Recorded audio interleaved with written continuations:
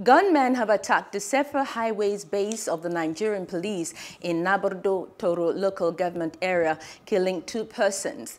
The police public relations officer Ahmed Watili confirmed this on Sunday via a telephone interview. He said the attack was carried out on Saturday night on men of the Safer Highways by Patrol Bauchi Road Jos. Following the attack, a policeman identified as Inspector Mukhtar Ibrahim was shot dead, and a civilian also identified as a son of the ward head of Nabordo, Uba Samaila, who had gone to visit the inspector, was also killed in the attack. The police spokesman confirmed that another civilian was also hit by a stray bullet, and he is currently receiving treatment.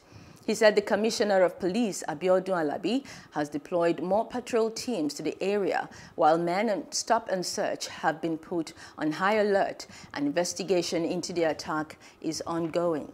Hello, hope you enjoyed the news. Please do subscribe to our YouTube channel and don't forget to hit the notification button so you get notified about fresh news updates.